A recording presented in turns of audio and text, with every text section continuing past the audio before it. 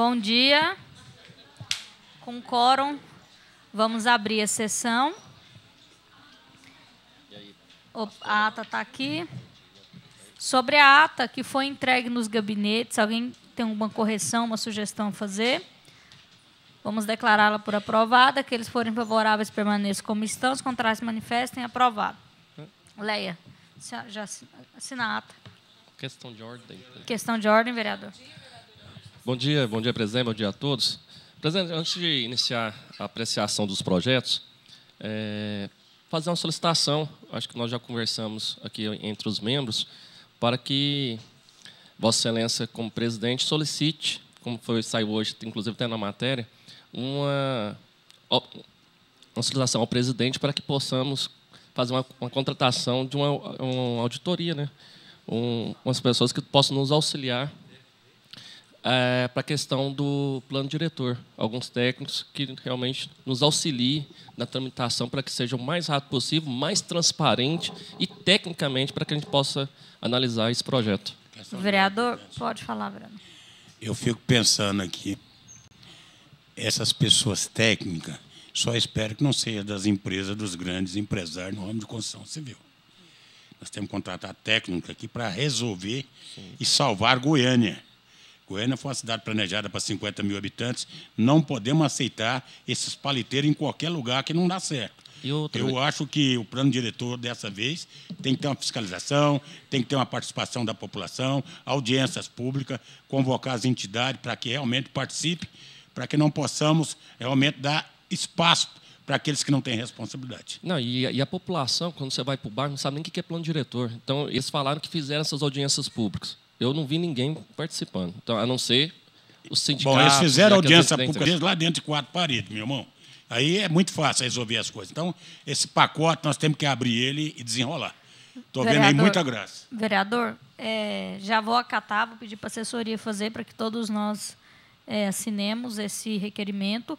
E também já vou fazer aqui, além do da assessoria técnica, que é fundamental nessa primeira análise da CCJ, e como você disse, é um projeto que trata de todos os temas das cidades sensíveis. Grande parte desses temas é um linguajar técnico e nós não somos, eu não tenho a formação, pelo menos nessa área, então a gente vai precisar de um auxílio, até para ver a constitucionalidade, a legalidade do projeto. E já vou solicitar também ao presidente que nos dê estrutura, vereador Paulo, para que a gente possa fazer as audiências itinerantes, audiências públicas dentro dos bairros, para que a gente possa levar realmente essa discussão para as pessoas, aquelas pessoas que não entendem, para que a gente possa fazer o convencimento e trazê-las para participar. Então, já vou fazer esses dois pedidos, tanto da, da, da assessoria técnica, quanto também para a gente realizar audiências públicas fora da Câmara. Quero só concluir, Sabrina, aqui.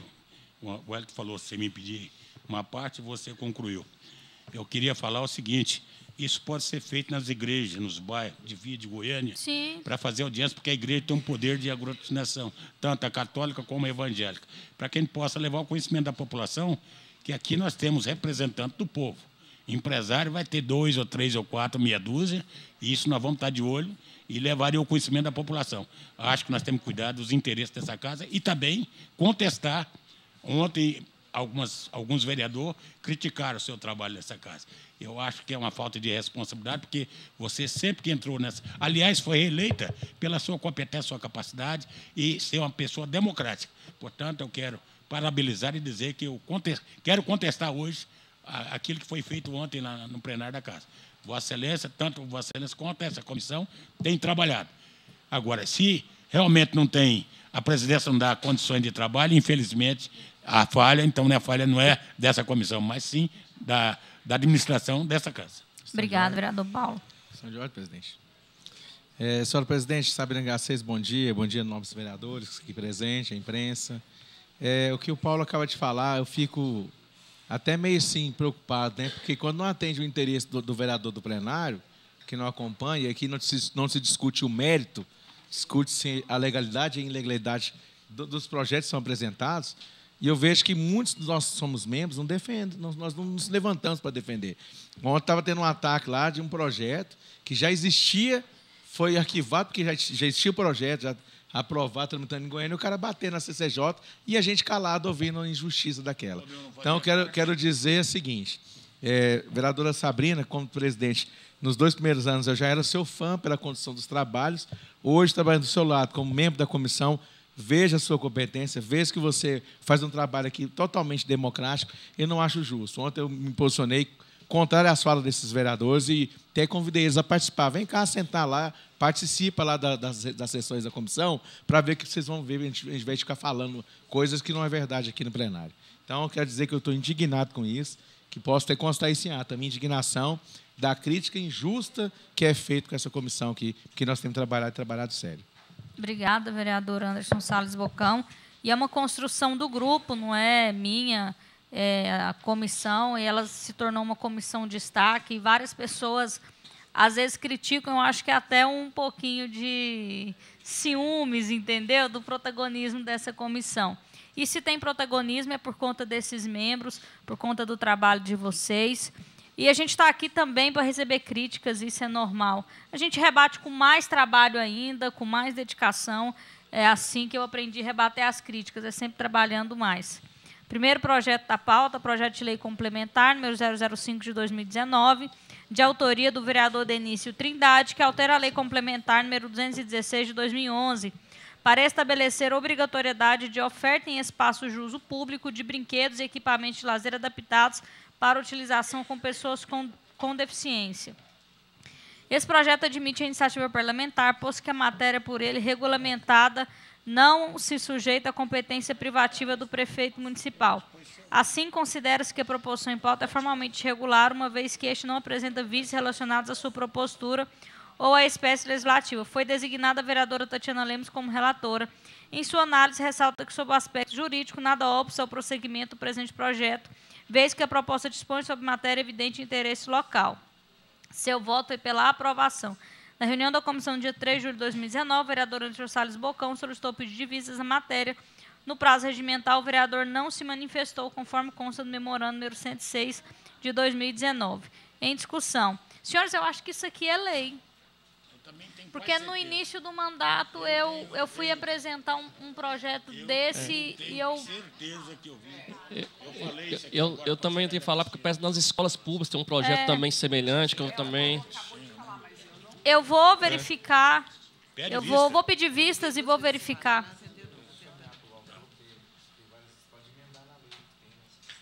eu vou verificar se tem se tem, tem a lei. É, eu vou pedir vistas e vou pedir para a assessoria verificar. Porque qualquer coisa ele faz emenda na lei existente. Em votação, pedir de vistas, aqueles que forem favoráveis permaneçam como estão, os contrários se manifestam. Aprovado. Inclusive, eu tive lá no Areião essa semana gravando, porque lá tem brinquedos adaptados, né? Tem. Projeto de Lei Complementar número 018 de 2019, de autoria do vereador Álvaro da Universo, que acrescenta ao artigo 102A Lei Complementar 11 de 92, que dispõe sobre o Estatuto dos Servidores Públicos do município de Goiânia, para estabelecer o direito à prioridade na concessão de férias ao trabalhador com deficiência ou que tenha cônjuge ou dependente com deficiência. O direito a férias constitui-se em prerrogativa constitucional otorgada ao servidor público e, no que concerne ao município de Goiânia, disciplinada pelos artigos 102 a 107 do Estatuto do Servidor Público do município de Goiânia. O supramencionado projeto de lei complementar, ora analisado, ao dispor sobre a prioridade do direito às férias ao servidor público deficiente ou que tenha cônjuge, companheiro ou dependente físico deficiente, incorre em incompatibilidade vertical com a Carta de Goiânia, vez que somente o prefeito municipal possui iniciativa privativa para deflagrar projetos de leis com a referida matéria. Neste caso, a matéria é inconstitucional. Como relatora, a vereadora Tatiana Lemos ressalta que a interpretação sistemática da Constituição conduz à conclusão de que, respeitada a legislação federal e estadual sobre a matéria, cabe ao município legislar sobre o interesse local. A proposta não representa aumento de custo ao município, pois trata apenas de questões administrativas de recursos humanos. A prioridade da definição nas férias, portanto, seu voto é pela aprovação. Em discussão? Presidente, esse projeto é semelhante ao que eu apresentei, claro, com outro tema, que é aquela possibilidade fracionar, de fracionar né? as férias, que foi vetado e, infelizmente, o plenário manteve o veto. Então, assim, vou votar favorável, mas com certeza o prefeito vai vetar. Em, já foi vetado uma vez, vai votar de novo? Em votação, aqueles foram favoráveis à aprovação, permaneçam como estão, os contrários se manifestam. Aprovado. Não, com voto do, do, do Bocão aí. Seu voto foi contrário? O meu também. Você assina em cima do não aqui, tá? Que eu tinha marcado. Se é o primeiro que eu marco, eu tenho que esperar. Ou você me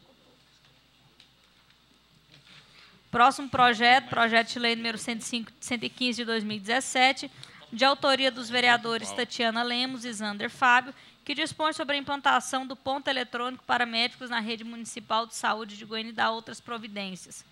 A propostura em cotejo vai de, vai de encontro aos incisos 1, 2 e 3 do artigo 89 da Lei Orgânica do Município, posto que pretende legislar sobre a implantação do serviço de ponto eletrônico na forma de parceria que onera os cofres do município, para o conselho desses serviços. Regula a fiscalização e a prestação de serviços nos servidores públicos municipais. E, por fim, interfere na atribuição da Secretaria Municipal de Saúde, impondo nova atribuição à mesma. Como relator, o vereador Wellington Peixoto emitiu seu relatório pela aprovação da proposta. A matéria foi aprovada na reunião do dia 10 de maio de 2017. Na Comissão de Trabalho e Servidores Públicos, recebeu o relatório do vereador Cabucena pela aprovação. Na sessão plenária do dia 27 de fevereiro de 2018, o processo foi diligenciado à Secretaria Municipal de Saúde, que opinou pela inconstitucionalidade da matéria. A vereadora Priscila TJ apresentou emenda aditiva, páginas 42, reexaminando a proposta, reexaminando a emenda. O relator manifestou pelo acolhimento da referida emenda. Em discussão? Eu quero dar um pitaco. Pode falar, vereador Paulo. Quero dar um pitaco, eu acho que é obrigação de quem presta serviço ter ponto as grandes empresas, os grandes empresários, todo mundo bate ponta e usa crachá. Agora, ter o luxo de médico ficar dormindo, não ir no serviço, deixando as pessoas nos postos de saúde a mercê da boa vontade. Então, eu acho que a Tatiana está de parabéns. E essa casa dela e do Zander estão de parabéns os dois. Eu acho que isso tem que ser aprovado com honra ao mérito, porque é uma coisa de uma fiscalização saudável para que a população carente possa ter direitos adquiridos, porque paga seus impostos e realmente são negados por falta de responsabilidade dos médicos que não comparecem ao serviço. Vereador Paulo, só esclarecendo que a emenda trata de uma tolerância de 30 minutos em relação ao ponto. Vereador Anderson Bocão, para discutir. É isso mesmo. É, inclui na, na lei, doutora Cristina, parecer é, que serão informados ao cidadão e ainda as informações que devem ser atualizadas em cada 90 dias será apresentada nessa emenda para conceder tolerância de 30 dias, mediante. 30 minutos, quer dizer, mediante justificativa, né? 30 dias aí que ele não vai de jeito nenhum, né? Essa aí já. É, verifiquei já aqui, ó, verifiquei nesse parecer aqui da Procuradoria, da Procuradoria Nossa, considerou ilegal formalmente o projeto. Mas, entretanto, a análise do projeto de lei 115 de 2017 já foi superada nessa comissão. Cabe a nós apenas manifestar sobre a admissibilidade da emenda e como não verificamos óbvio a admissibilidade da mesma, apresentada pela ilustre vereadora aí, né? Nos manifestamos pelo seu acolhimento. Então, é vereador Zander, depois vereadora Cristina. Obrigada, vereador é um, Bocão. Esse projeto é um projeto que foi apresentado na legislatura passada, depois nós refizemos ele, né, de autoria da vereadora Tatiana e também com a minha participação. É engraçado. E aí, cabe a nós, todos os vereadores, fazer um juízo. Primeiro, bom dia para todo mundo, né? Fazer um juízo de valores. Nós estamos aqui cobrando o tempo inteiro, tempo inteiro. O que eu mais vi nas duas legislaturas que eu estou aqui ser cobrado é atendimento médico em CAIS, em posto de saúde, em qualquer outras é, é, é, instituições médicas. E por que que o médico, o, o, o, o médico que trabalha na rede hoje, claro que, que existem as exceções, mas com raras exceções, todos eles, o trabalho dele na, na prefeitura, Cristina, é bico. Ele, quando prestou um concurso, ele sabia da carga horária dele. Aí ele chega lá, faz o. No edital tem. Ele chega, vai lá e faz o atendimento de, de, de drive-thru. né? O cara passa por ele, ele, ele faz um tanto de atendimento lá, vai embora e as pessoas ficam lá. Aí, aí o vereador tem que acordar de madrugada e prevaricar, porque quando eu vou lá pedir para uma criança ser atendida no CAI de Campinas, eu estou passando na frente. O Ministério Público vem e quer caçar meu mandato, Sabrina. E aí, quando a gente quer todos os outros funcionários hoje das, das unidades de saúde já bate ponto. Por que, que a secretária não quer que o médico bata ponto? Né? Por quê? Porque tem o serviço lá, ganha. Um médico hoje, regulado, é, é, trabalhando na rede, com os plantões que tem para ele fazer, ele ganha 20 mil reais de salário, Cristina. Nós em mais a metade, mais um pouco. O salário de um vereador que trabalha dia e noite, mais um pouco.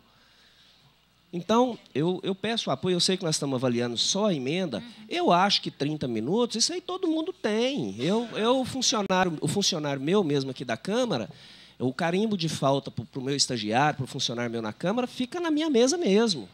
Deu oito e meia, não veio, o cara não tem que vir mais, ué. Falta, vai Vou fazer. aderir o seu a forma com que o senhor trabalha, vereador. Como é que é? Vou aderir à forma que Exatamente, o senhor trabalha. o carimbo. Eu, eu, um dia desses, um diretor veio reclamar de mim porque uma funcionária, uma, uma estagiária, né, ela faltou 15 dias, mandei embora, ué. Mandei embora. 15 faltas. Ah, não, mas é porque ela trouxe o atestado de, ao recursos humanos para testar a veracidade do atestado. Queria eu ter um estágio quando eu fiz faculdade. Eu ia de ônibus, tinha carro, ia de ônibus, porque eu não tinha dinheiro para pagar gasolina e o estacionamento do carro lá na Católica. Então, Sabrina, tem algumas coisas que nós temos que, que, que. Não é falar e não fazer, nós temos que fazer e depois sim a gente falar. Então, com relação a isso, acho que todo mundo tem esse interquist de meia hora, 20 minutos. Né? Agora, não foi falta. Faltou tantos dias, tem muito médico formando aí que precisa, contrata ele. Então é um projeto polêmico, nós recebemos muitas críticas né, desse mercado. Né, e eu, eu só não posso cair na rede pública, eu mas a Tatiana hoje. Porque se não é cair na rede pública, é capaz que eles dão uma injeção de bezetacil na veia, e aí nós podemos ir dessa para uma muito melhor. Né? Eles falam que é melhor, ninguém nunca voltou de lá para falar.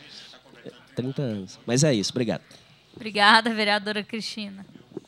Bem, bom dia mais uma vez a todos que nos assistem nessa manhã, através da TV Câmara, quem está aqui presencialmente. Quero destacar a presença da Rosa Serafim, que é diretora do Núcleo de Proteção aos Queimados, vem acompanhar a reunião para a apreciação de um projeto. E Quero cumprimentar a vereadora Tatiana, é a autora do projeto, vereador Zander. Está é, é tá aqui só para avaliar a emenda. Né? Essa questão da saúde, aliás, de todo o serviço público estadual já foi pacificada. Hoje, todas as pessoas assinam ponto eletrônico, inclusive no Tribunal de Contas, com assinatura digital ou então facial, reconhecimento facial. Então, há mais uma vez aí uma flagrante omissão do poder do executivo municipal. O prefeito e as suas secretarias escolheram não resolver a situação. E a casa, de uma maneira muito correta, busca aí a forma de solucionar, porque a população é que acaba é, deixando de receber esse serviço. Em relação à emenda da vereadora Priscila, eu concordo com ela plenamente. Eu acho que essa tolerância ela é razoável e essa comissão, como essa casa, deveria trabalhar para derrubar a portaria, aonde a secretária Fátima ela impõe aos profissionais é, a troca de unidade. Uhum. Então tem gente lá no cais, chácara do governador, aí falta alguém aqui em Campinas alguém liga e fala: Ó, oh, você pode parar de atender aí, que agora você vai para Campinas. Isso é um desrespeito com os profissionais, não só da área médica, mas de qualquer área da saúde ou de qualquer área é, de formação. Você não tem mais. É, como saber como é que vai ser seu dia. Você está atendendo, você tem que interromper o atendimento. Então, há um desrespeito generalizado pelos profissionais, pela população, que é quem recebe um serviço de maneira inadequada, incompleta. Né? E também vem aí é, de governos bem acima. Né? O desrespeito, especialmente com a categoria de saúde, é assustador. É, e ontem a enfermagem foi de maneira vil, covarde, atacada. A enfermagem que carrega qualquer serviço de saúde no planeta Terra, não é só em Goiânia nem no Brasil, não. A enfermagem, qualquer serviço sério, são os profissionais que conduzem que coordenam qualquer serviço de saúde. Então, é inadmissível esses ataques e é inadmissível essa omissão da prefeitura. E a Câmara, de maneira adequada, tenta regular aí o que, na minha opinião, deveria ser para todas as servidoras e servidores, vereador Paulo, como já o é no Estado. Então, bons exemplos tem, falta é vontade política e decisão aí para fazer realmente o que tem que ser feito. Em discussão, em votação. Aqueles forem favoráveis à emenda permaneçam como estão, os contrários se manifestem. Aprovado. Próximo projeto da pauta, projeto de lei número 322 de 2018, de autoria do vereador Emilson Pereira, que institui no âmbito do município de Goiânia a obrigatoriedade de rebaixamento de calçadas próximos aos pontos de parados de transporte coletivo e da outras providências. A lei número 10.257 de 2001, em seu artigo 41, parágrafo 3 diz Artigo 41. Plano diretor é obrigatório, é obrigatório para cidades. Parágrafo 3 As cidades de que trata o caput deste artigo devem elaborar planos de rotas acessíveis compatível com o plano diretor no qual está inserido, que dispõe sobre passeio público a serem implementados ou reformados pelo poder público com vistas a garantir a acessibilidade da pessoa com deficiência ou com mobilidade reduzida a todas as rotas e vias existentes, inclusive as que concentram os focos geradores de maior circulação de pedestres, como órgãos de como órgãos públicos e SOS, locais de prestação de serviços públicos, privados, saúde, educação, assistência social, esporte, cultura, correios, telégrafos, bancos, entre outros, sempre que possível de maneira integrada com o sistema de transporte coletivo. A Lei nº 8.920 de 2010 institui o Plano Emergencial de Recuperação das Calçadas. A título de sugestão da comissão, poderia o autor elaborar uma emenda às leis já existentes, atendendo à Lei da Acessibilidade e às normas técnicas da BNT em seu relatório, o vereador Zander Fábio cita também as leis já existentes para rejeitar a presente matéria. Na sessão plenária do dia 2 de maio de 2019, o autor solicitou pedido de vista sobre o processo e apresentou emenda substitutiva ao seu projeto, páginas 24.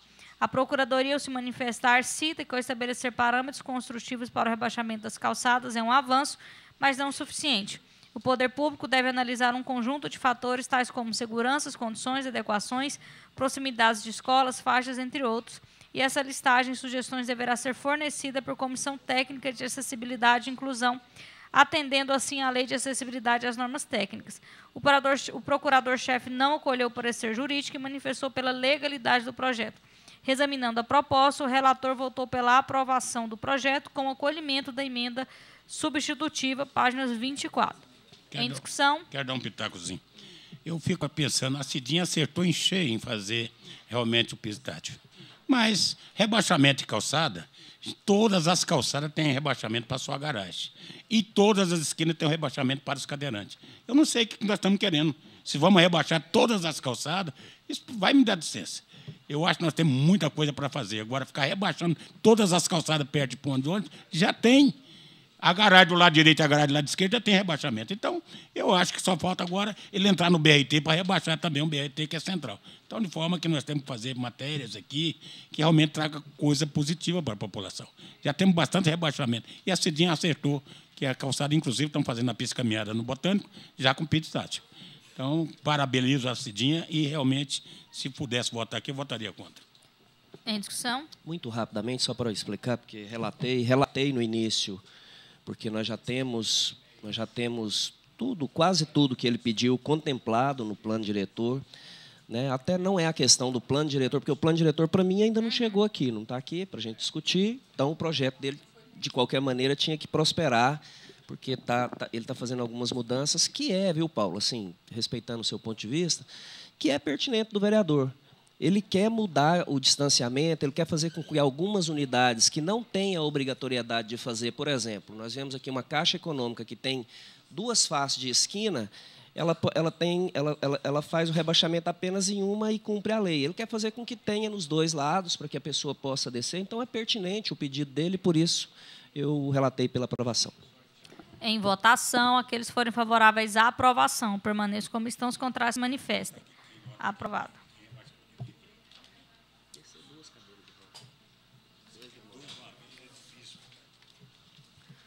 Projeto de Lei número 074 de 2019, de autoria do vereador Sargento Novandir, que institui o diploma aluno destaque para estudantes do sexto ao nono ano do ensino fundamental da rede municipal de educação do município de Goiânia. O Poder Legislativo invadiu claramente a seara da administração pública, de alçada exclusiva do prefeito de Goiânia, violando-se a prerrogativa deste em analisar a conveniência e oportunidade das providências que a lei quis determinar. Bem por isso, a matéria somente poderia ser objeto de tramitação legislativa por proposta do próprio chefe do Poder Executivo.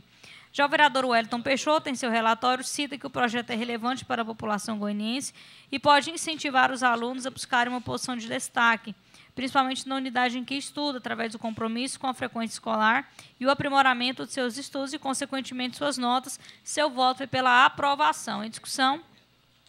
Em, quer, quer discutir, Fernando? Em votação. Que eles forem favoráveis, permaneçam como estão, os contrários se manifestem. Aprovado.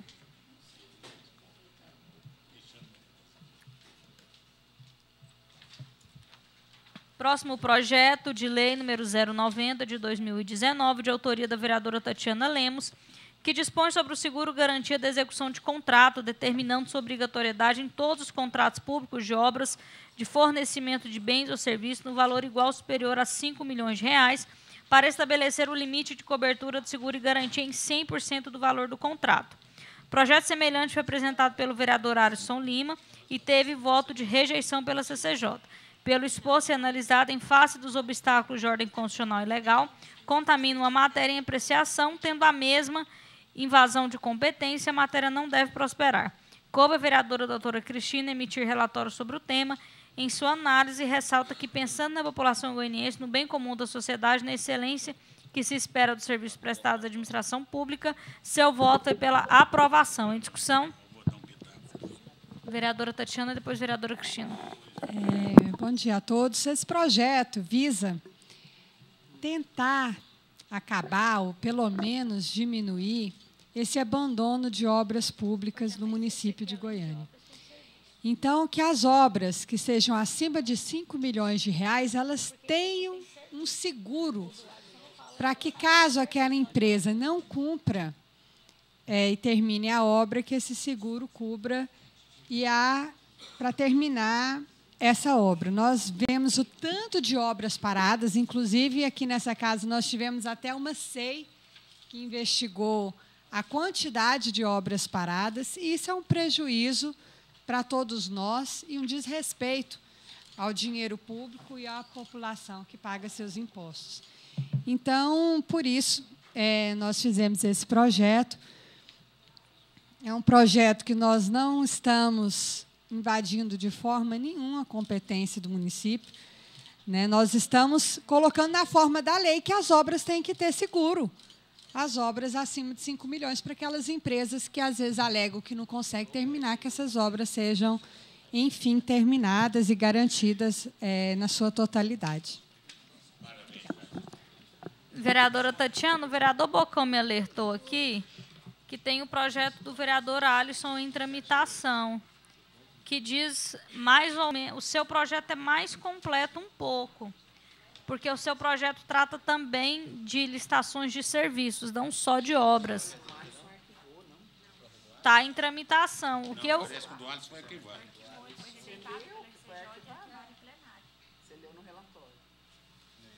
no relatório. Rejeição.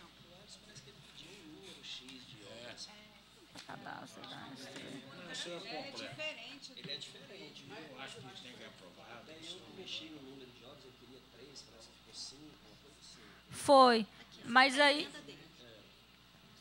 Vai discutir essa vereadora Cristina. Ele não foi arquivado ainda, mas só solicitar o arquivamento dele, assessoria, sua, sua assessoria solicita.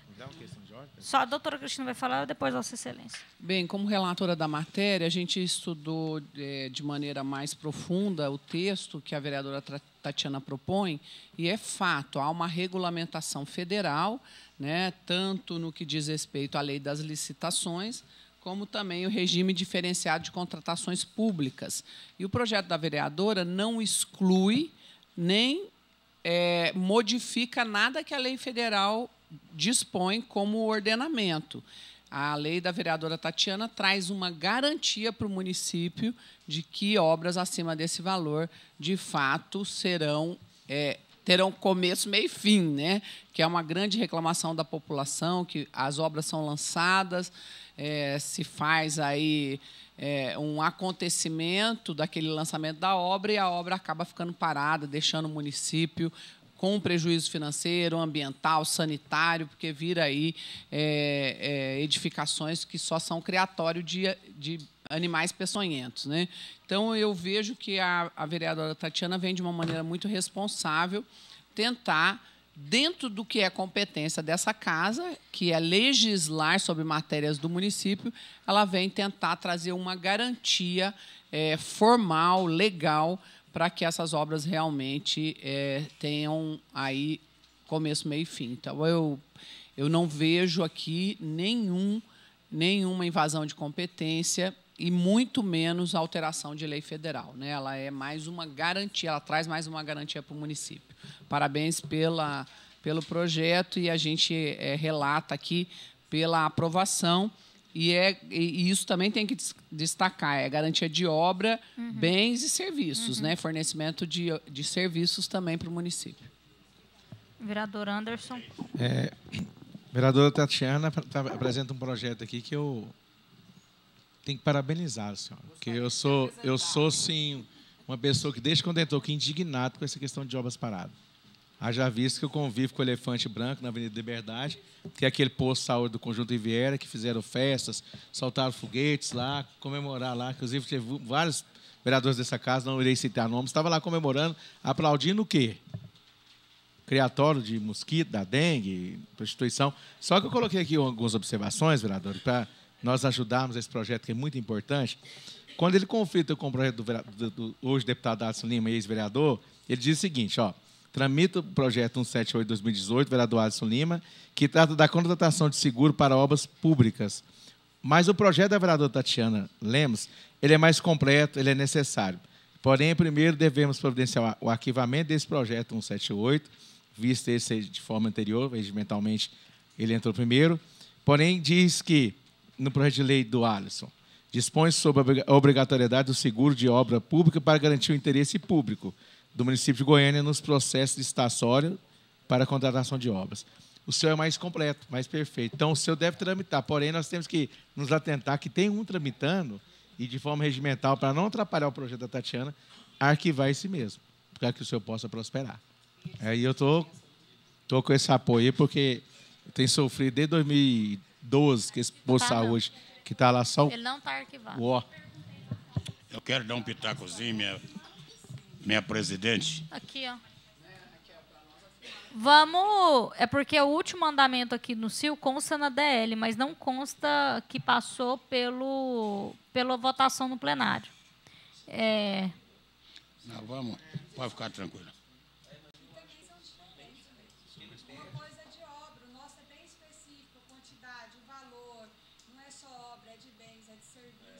Mas tem que pedir o arquivamento do mesmo jeito.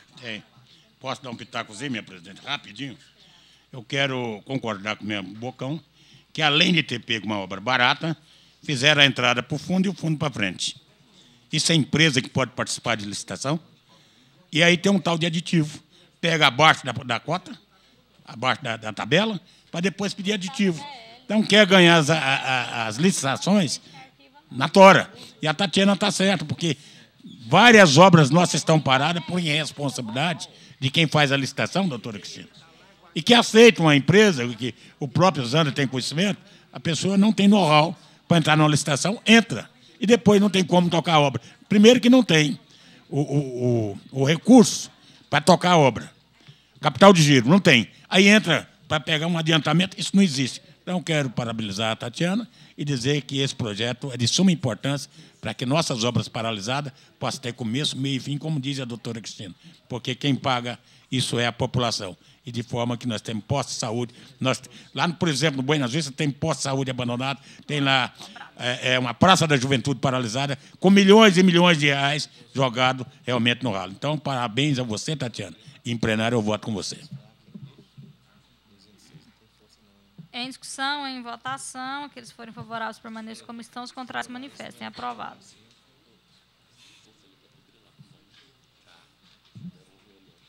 Projeto de lei número 159 de 2019, de autoria do vereador Tiãozinho Porto, que autoriza os agentes de controle endemias a adesivar residências com foco criador ou ausente a presença de mosquito Aedes aegypti no âmbito do município de Goiânia. Note-se a clara invasão da matéria da administração pública não será admitido aumento de despesa pública prevista nos projetos de iniciativa do prefeito. Ao relatar, a vereadora doutora Cristina afirma que as leis já existentes sobre o tema não se mostram eficazes ao que diz respeito à real redução do número de casos de dengue no município de Goiânia. Diante da relevância da proposta e por estar em conformidade com as normas constitucionais, seu voto é pela aprovação. Na reunião do dia 7 de agosto de 2019, o vereador Zander solicitou pedido de vistas. Vencido o prazo regimental, o vereador não se manifestou. Em discussão? Não manifestei, conversei com, com o vereador Tiãozinho. Eu, particularmente, entendo tudo que abunda. É assim que fala, não é não, né? Não é não, né? Então, tudo que abunda, não é, é melhor abundar. Não, como é que é? Tem um, tem um ditado aí que é mais ou menos esse. Antes sobrar do que faltar, tá vendo? Não é o que abunda, então. Então, é, então, eu particularmente tenho muito receio, e eu tenho visto isso, vereadora Sabrina, Excelência que está andando aí também nos bairros, os outros vereadores que andam, porque, por exemplo, eu estou sofrendo muito com a questão da casa fechada quando tem um cachorro lá em situação de maus tratos. Eu não posso invadir, mas a Constituição fala que se o animal tiver mas eu não posso entrar, eu tenho que chamar a polícia ambiental, a polícia ambiental não vai. E acho que os agentes vão sofrer do mesmo problema. E aí, quando você põe um, um adesivo na porta daquele, daquela, daquela pessoa que, por acaso, for reincidente no que diz respeito à questão de ter ali o foco da dengue e ela não ter tomado nenhuma atitude, você coloca aquela família ali em risco. Porque você vai demonstrar, muitos outros podem entender que aquilo ali é um risco e muitas vezes a gente sabe que tem pessoas né, que, que não têm muito entendimento que pode partir para alguma agressão física. Mas eu entendo também que é uma maneira de você fazer com que essa pessoa tire, já que a multa já funciona, nós tínhamos que fazer o, o, o, com que a multa que é aplicada para quem seja reincidente nos focos de dengue, porque não adianta eu cuidar, você cuidar lá da sua casa, Tatiana, se a sua mãe não cuida da dela, que é vizinha, se o seu vizinho não cuida do outro, que é vizinho, não adianta. Né? Então, por isso, conversei com o vereador, né, ele acha que é um procedimento. Eu tenho certeza também que a própria prefeitura, por ter que comprar os adesivos para colar lá na porta, vai vetar, mas eu, até, até com relação ao veto, eu vou votar com, com o vereador. Em discussão? Bem, como uma pessoa da saúde preocupada com essa questão sanitária, a gente vê o projeto aí, mais uma vez, ocupando o espaço da omissão da prefeitura, porque alguma medida tem que ser tomada, né? É, e o ditado, vereador, ele foi modificado ao longo da língua portuguesa, mas é melhor prevenir do que remédio dar. Então, que as pessoas. Né, virou remediar, mas é remédio dar, não tem nada a ver mas a, as pessoas é que estão sendo afetadas, né? Tem gente aí com caso de dengue, com repetição, evoluindo para a zika. Alguma coisa tem que ser feita. Eu acho que vai ser vetado, a gente entende isso, mas é uma forma de exercer pressão e de chamar a atenção para esse problema que é tão grave, né? Que é transversal, que não está ninguém isento disso, porque a casa com piscina está lá no setor nobre, como o lixo parado está numa obra em construção em qualquer bairro aí mais periférico. Então é, é uma coisa que atinge a toda a população de Goiânia. E tem, uma, Vereador Wellington. É, tem outra questão também. Aí você coloca o adesivo que não tem, aí ele fica lá. Aí o agente, daqui um mês, dois meses, vai passar lá e fala, ah, esse aqui já não tem, já, não, e, e pode vir a ter. Então tem umas questões também que pode acontecer. Então, assim, é meio complicado a situação. Não, não é isso. É, é. isso. Não, mas tem as duas opções pelo, no projeto, parece que tem as duas opções. você não pode entrar. a gente não consegue entrar. Questão de ordem, vereador Anderson Salles. Presidente, além do mais, o pessoal que vai colocar o adesivo lá, ele no dia virou as costas, ele arranca. Não vai ficar esse adesivo lá, não vai prosperar, não. Infelizmente, é assim, colocou, o cara vai ver lá, vai mancar, minha casa é foco de dengue. Ele vai arrancar, não adianta arranca coisas piores. Outra coisa, só corrigindo aqui, ó, Zander, para não ficar aquele negócio de. Vereador Zander, para não ficar esse negócio que meio sim, que está sendo transmitido, negócio de abunda, você pegou isso foi na palavra de Deus em Romanos, capítulo 5, 20, diz o seguinte: ó, veio, porém, a lei para que a ofensa abundasse, mas onde o pecado abundou, superabunda a graça de Deus. Tá bom? Para não ficar assim complicado, senão o pessoal vai falando besteira aqui dentro. Em discussão, em votação, aqueles que forem favoráveis permaneçam como estão, os contrários se manifestem. Se é contrário? Anderson e Wellington, votos contrários. Cristina, Leia e Zander.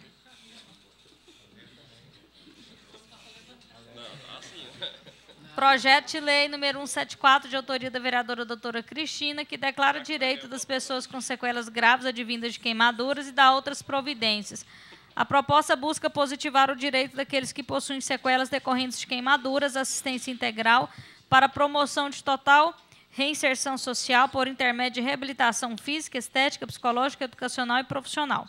A matéria está em consonância com o ordenamento jurídico e, em seu relatório, o vereador Anderson Salles Bocão destaca que o STF já analisou conteúdo semelhante, reconhecendo a legalidade das leis oriundas do Poder Legislativo, que não chegam a promover inovações na realidade orgânica do Executivo, seja pela criação de novos cargos, serviço ou mesmo obrigação.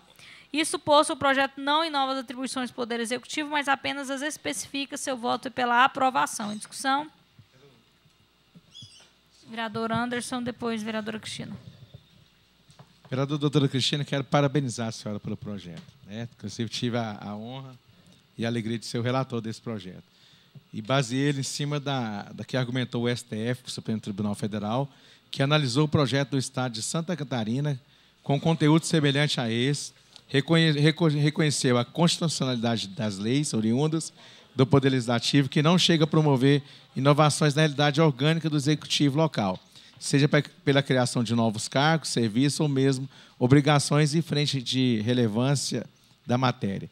E destacando ainda que essa não inova as atribuições do Poder Executivo, mas apenas as específicas nos manifestamos pela sua aprovação. Muito bom projeto. Fiquei muito feliz em poder relatar esse projeto que a senhora apresentou aqui para nós. Obrigado, viu? Doutora Cristina. Quero agradecer o relatório do vereador Anderson Salles Bocão com essa fundamentação tanto na legalidade quanto na constitucionalidade, que para nós é, são pilares aí extremamente importantes na condução das matérias. Quero agradecer a presença da Rosa, que está aqui em nome de todos os pacientes sequelados de queimaduras, não só sequelas físicas, mas também emocionais, sequelas psicológicas. E destacar que essa casa faz história com esse trabalho na queimadura, tanto que estamos, é, a convite da Assembleia Legislativa do Estado de São Paulo, apresentando o projeto Junho Laranja lá na Alesp, no dia 31, né, que a Alesp vai é, se basear no projeto para criar um projeto no Estado de São Paulo.